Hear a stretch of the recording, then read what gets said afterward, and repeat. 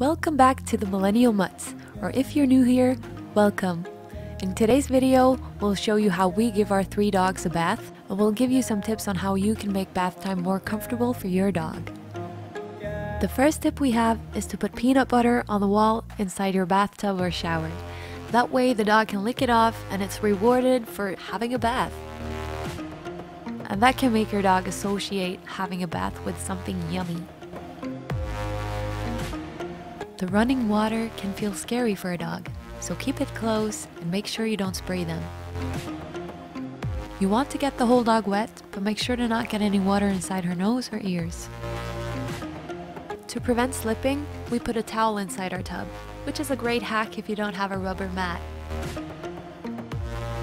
We filled some water in the tub before getting the dogs in, because having still water around their paws feels less scary than the running water.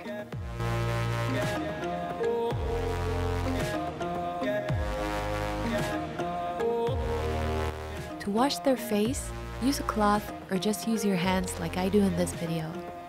Water in your dog's ear can give an infection, and water in its nose can make it feel like it's drowning, so you want to avoid that.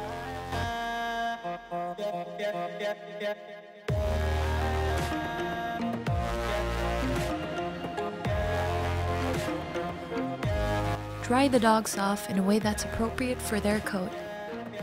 With our two short coats, we just have to use a towel, but with Isa we have to blow dry. We hope you found these tips useful. Please leave a comment if you did and make sure to subscribe or follow us on Instagram. We'd love that. And thank you so much for watching the Millennial Mutts. Bye!